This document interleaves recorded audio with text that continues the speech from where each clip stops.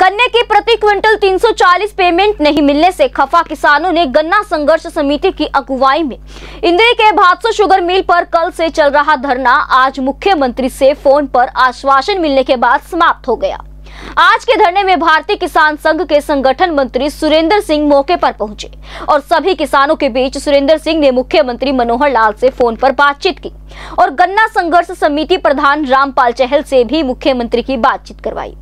किसान नेताओं के अनुसार मुख्यमंत्री मनोहर लाल से फ़ोन पर बातचीत कर सोमवार या मंगलवार को गन्ने की पूरी पेमेंट मिलने से आश्वासन पर किसान धरना प्रदर्शन से उठे और मेल में गन्ना तुलाई शुरू करवाई। इस मौके पर इंद्री एसडीएम सुमित सिहाग, तहसीलदार दर्पण काम्बोज व थाना प्रभारी सुरेंद्र सिंह पुलिस बल के साथ मौके पर पहुँचे। गन्ना संघर्ष समिति प्रधान रामपाल चहल ने बताया कि मिल की ओर से किसानों को गन्ने की पेमेंट दो सौ प्रति क्विंटल दी गई। जिससे किसानों में भारी रोष है। किसान शुक्रवार दोपहर से शुगर मिल कांटा बंद करके मिल गेट पर धरने प्रदर्शन पे बैठे थे। चहल ने कहा कि भारतीय किसान संगठन मंत्री सुरेंद्र सिंह शनिवार दोपहर बाद धरने पर पहुँचे और उन्होंने किसानों से बातचीत कर मुख्यमंत्री मनोहर लाल से बातचीत की।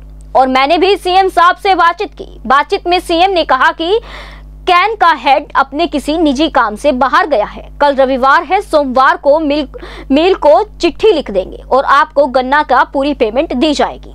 हमें विश्वास है, सीएम, एसडीएम सुरेंद्र सिंह के आश्वासन पर धरना खत्म करते हैं।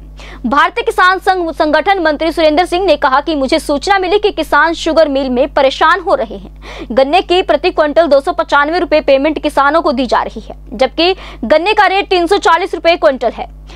मुझे काफ़ी दुख हुआ, मैं किसानों के धरने पर पहुँचा, धरना प्रदर्शन पर पहुंचकर मुख्यमंत्री से बातचीत करवाई। सुरेंद्र सिंह ने कहा कि, सीएम साहब ने कहा कि ऐसा नहीं होना चाहिए था। 340 का रेट है, अगर मिल बकाया पैसा नहीं देगा तो सरकार देगी, हर कीमत पर देगी, ऐसा आश्वासन सीएम ने मुझे फ़ोन पर दिया। उसके बाद हमने बैठकर एसडीएम महोदय को बुलाया, उनकी उपस्थिति में यह निर्णय सुनाया, मंगलवार को किसानों को पूरी पेमेंट दी जाएगी, यह आश्वासन दिया गया। एसडीएम सुमित सिहाग ने कहा कि गन्ना संघर्ष समिति व किसान गन्ने की पूरी पेमेंट करवाने के लिए धरने पर बैठे थे। किसानों की मांग थी कि हमें गन्ने की पूरी पेमेंट दी जाए। उन्होंने कहा कि यहाँ पर आए भारतीय किसान संघ संगठन मंत्री सुरेंद्र सिंह ने माननीय सीएम साहब से बातचीत की है। सीएम साहब ने आश्वासन दिया कि जल्द ही सोमवार, मंगलवार तक पूरी पेमेंट करवा दी जाएगी। अगर मिल प्रशासन ऐसा नहीं करता है तो कड़ी कार्यवाही करेंगे, जो आश्वासन दिया गया है। इंदिर से संवाददाता अमित कुमार की रिपोर्ट।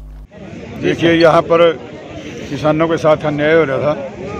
पूरे हरियाणा में 340 की रेट मिल रहा था और पिकाडली शुगर मिल दो सौ पचानवे की दे रहा था। इसको लेकर किसानों ने कल ढाई बजे धरना रख दिया, मिल बंद कर दिया और अभी तक दोबारा ढाई बज गए हैं। अब जाकर हमारा फैसला होया, सुरेंद्र जी, जो प्रचार मंत्री हैं, किसान संघ के, उन्होंने बात कराई सीएम साहब से। तहसीलदार साहब एसडीएम साहब आए इन्होंने आश्वासन दिया तो अभी हम खुश हैं। इन्होंने कहा कि आपको सोमवार या मंगलवार को तीन सौ चालीस का रेट मिलने लग जाएगा आपका जो डिफरेंस है बीच का ये एक मुश्त मिल तो जाएगा सीएम के यहाँ पर गन्ना संघर्ष समिति और काफ़ी किसान भाई जो हैं यहाँ पर एकत्रित हुए थे यहाँ पर मिल में और उन्होंने मिलकर बंद किया था। वो ऐतराज़ कर रहे थे कि हमें गन्ने की पेमेंट दो सौ पचानवे रुपये के हिसाब से मिल रही है। मिल वाले उनको दो सौ पचानवे के हिसाब से दे रहे थे जबकि गन्ने का रेट तीन सौ चालीस है। तो उनकी मांग ये थी कि हमें पूरी तीन सौ चालीस रुपये की पेमेंट की जाए मेरे का ये कहना था कि भाई हमारी तरफ़ से जो दो सौ पचानवे रुपये ड्यू है, हम वो दे रहे हैं और बाकी का जो सरकार की तरफ़ से हमें आते जो सहायता प्रोवाइड की जाती है, वो उसके आने पर दिया जाएगा। लेकिन किसानों जो किसानों ने जो संघर्ष किया वो इसी बात पर था कि हमें तीन सौ चालीस के हिसाब से पेमेंट की जानी चाहिए।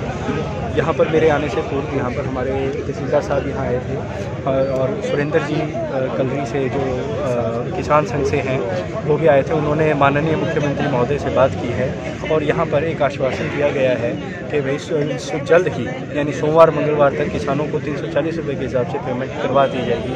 और अगर मिल ऐसा नहीं करता है तो उसके बाद जो है प्रशासन अ, कोई कड़ी कार्रवाई करेगा या उसमें आगे आश्वासन दिया गया कि प्रोवाइड कर दी जाए किसानों ने बहुत ही बेसिक मूलभूत सुविधाएँ कोई बड़ी सुविधाएँ नहीं मांगी हैं बहुत ही मूलभूत बेसिक सी सुविधाएँ हैं जो सीज़न में किसानों के हित में मिल को मैनेजमेंट को लेनी चाहिए उसमें विस्तार से मिल मैनेजमेंट के साथ चर्चा की जाएगी और मैं आश्वासन देता हूँ कि मिल मैनेजमेंट से इस पर जल्द से जल्द चर्चा करके सुविधाएँ उपलब्ध करवाई कोई फ़ोन आया किसान यहाँ परेशान है। दो सौ पचानवे की पेमेंट हो रही है। 340 का एमएसपी है। तो मुझे बहुत बुरा लगा और मैं यहाँ पहुँचा।